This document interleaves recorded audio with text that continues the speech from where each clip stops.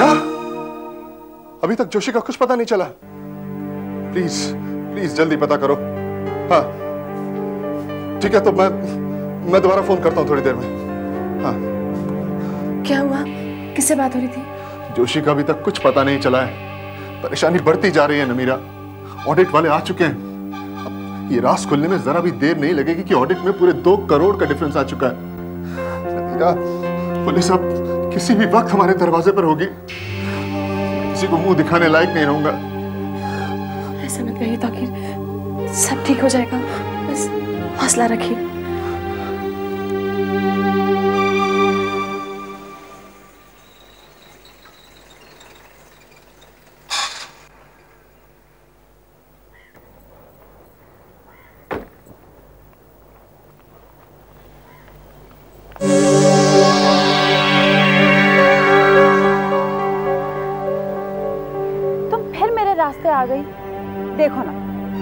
जा रही थी और तुम मेरे सामने आ गई।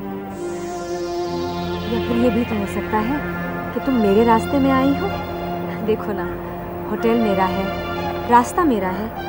मैं यहाँ से जा रही थी और तुम मेरे सामने आ गई।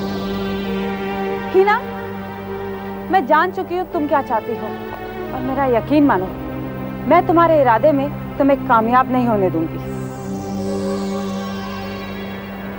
मैंने लोगों को सच्चाई का आईना दिखाने की कोशिश की थी, लेकिन मैं नाकाम रही। पर मेरा यकीन करो रूबी, आज नहीं तो कल जीत सच्चाई की ही होगी। हिना तुम मेरा यकीन करो, तुम ख्वाब देखती रह जाओगी, और मैं समीर की दुल्हन बने उनके घर चली जाऊँगी।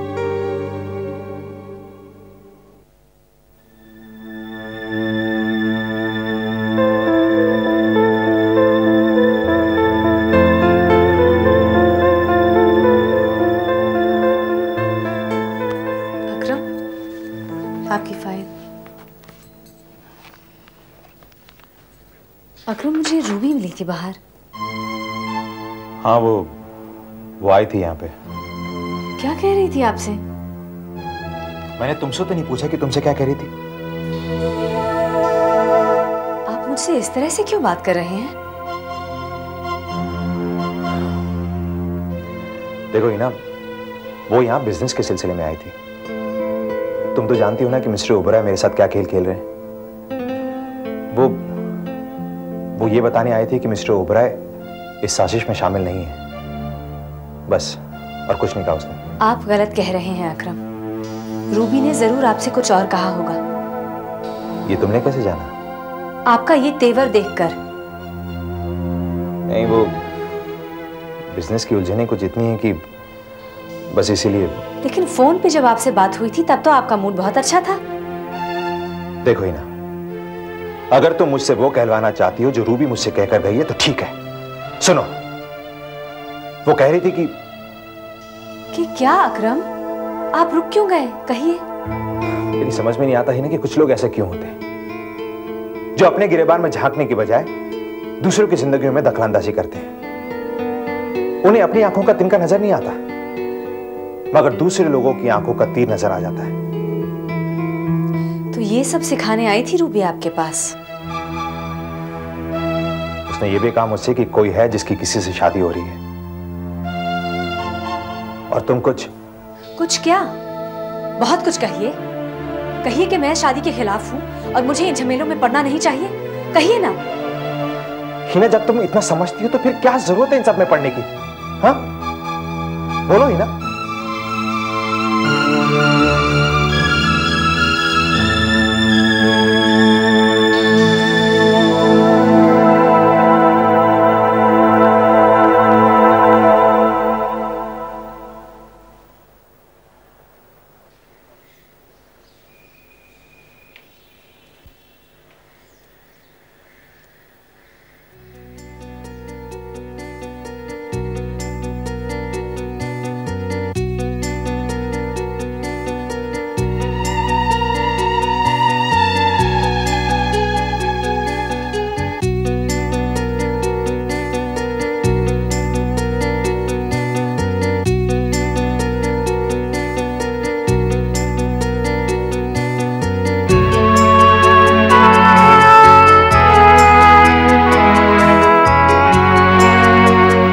दिल बर्बाद से निकला नहीं।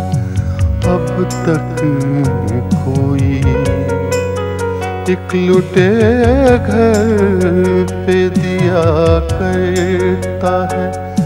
दस्तक कोई आस जो टूट गई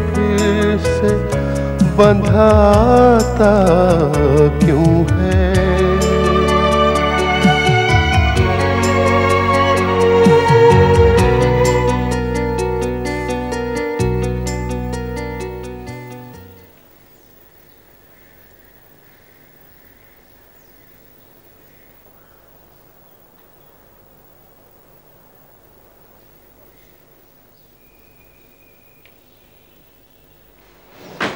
R D four five seven seven हाँ ये मेच्योर हो गए तीन साल क्लोज करिए। अच्छा seven eight six four two ने छः महीने का नहीं भरा ना? नहीं भरा। तो वो इंटरेस्ट काट के इसको भी क्लोज करिए।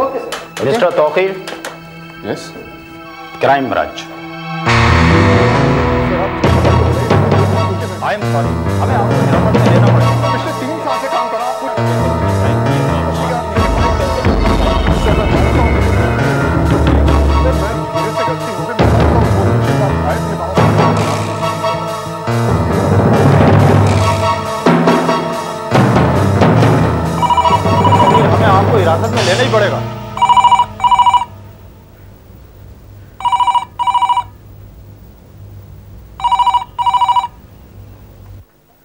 हेलो? भाभी जी मैं बैंक से बोल रहा हूँ। हाँ बोलो। सीबीआई वालों ने गबन के आरोप में साहब को गिरफ़्तार कर लिया।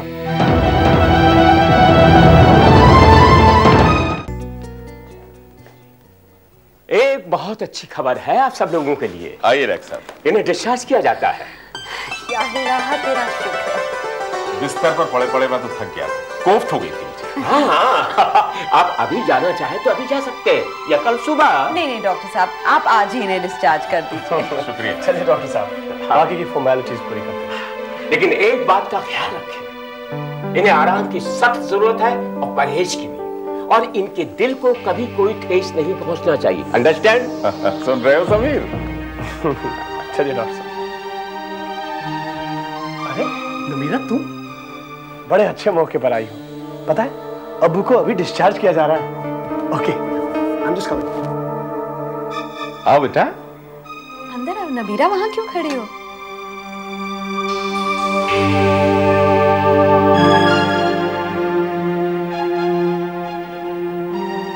क्या बात है बेटा? उदास क्यों हो? क्या हुआ नमीरा हाँ नहीं कुछ नहीं कुछ भी नहीं हुआ। बेटे तुम ज़रूर कुछ छुपा रही हो। तुम्हारा चेहरा देखकर तो मुझे खौफ सा हो रहा है। बताओ बेटा क्या बात है? नहीं नहीं अबू डरने वाली कोई बात नहीं है। मैं मैं बहुत खुश हूँ कि आज आपको डिस्चार्ज मिल गया है। तुमने तो मुझे डरा ही दिया था। चलिए अन्नी अबू चलने की तैयारी कीजिए। चलो भाई मैं तो चलने के लिए बहुत बेताब हूँ। चलो नमीरा। अम्मी आप लोग चलिए मैं बाद में घर आती हूँ। क्यों तुम कहाँ जा रही हो? वो बबलू घर पे अकेला है ना? ठीक है तौकीर को भी साथ ले आना। जी।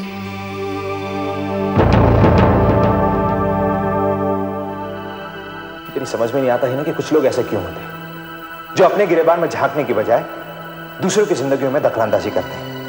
हिना जब तुम इतना समझती हो तो फिर क्या ज़रूरत है इन सब में पढ़ने की? मैंने हिना को अपनी बेटी की तरह ही चाहा है। इसे यहाँ से जाने के लिए मत कहो। हम एक हिना खो चुके हैं। अब इस हिना को हमसे मत छीनने की कोशिश करो।